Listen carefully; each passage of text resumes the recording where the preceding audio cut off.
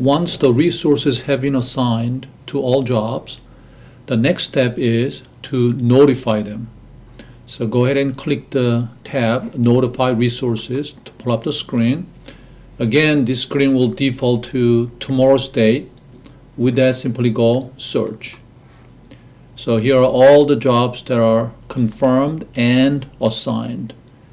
Now, based on their communication preference that you set up in each reporter's profile, the first three columns, print, fax, email, will be automatically checked by RB8. Now, there is a, a uh, fourth column that says SMS, which stands for Simple Messaging Service, which is basically a text messaging going out to their cell phones.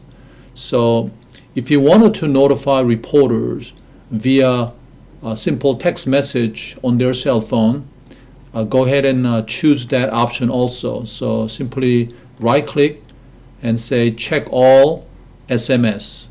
This way you can just simply check all SMS checkboxes. If you have uh, 125 jobs for tomorrow, you don't have to click each box 120 times. Simply use that uh, check all or uncheck all option.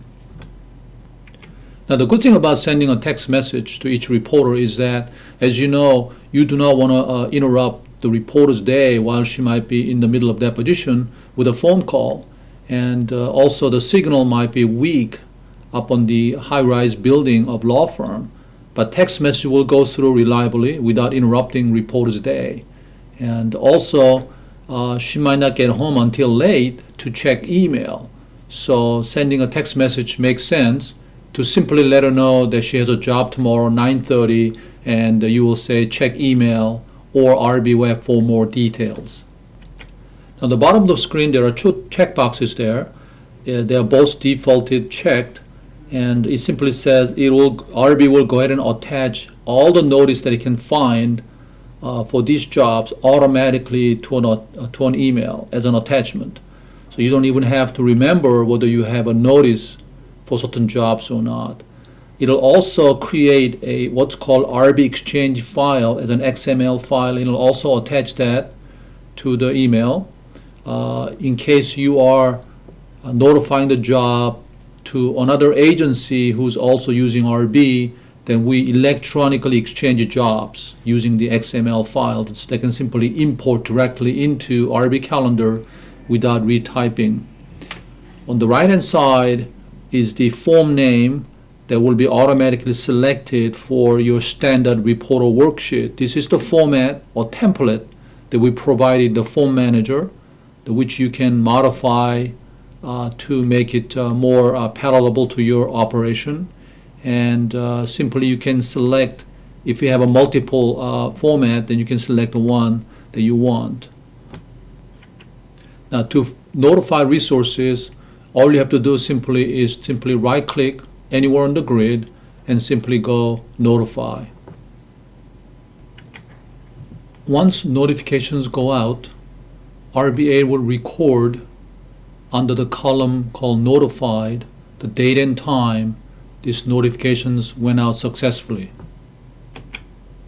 Now in each uh, reporting company, uh, you have uh, different policies as to how each resource should respond or acknowledge the job assignment. Now, if you have RB Web, then resources can acknowledge their job either on the uh, RB Web itself on the website or using the mobile version, uh, using their BlackBerry or PDA, they can acknowledge the jobs. And then as they do acknowledge their assignments, the the, this column acknowledge will automatically have a date and time indicated. Now, if they are doing it manually, either by calling you or by sending the email back, then you need to do it manually by using a, a function built into this screen here called resource call in.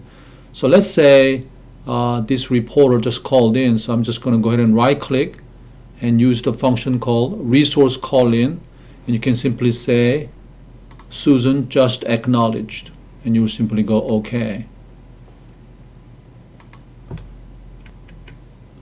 So someone in your firm can be responsible maybe uh, by connecting from home uh, to RB8 to look at this list of jobs for tomorrow and look basically looking at these two columns, make sure uh, every job uh, has been notified and every resource called in to acknowledge. So by looking at this and you see that there is a one date and time missing here, so that'll be an indicator or warning flag somebody has not acknowledged their job assignment.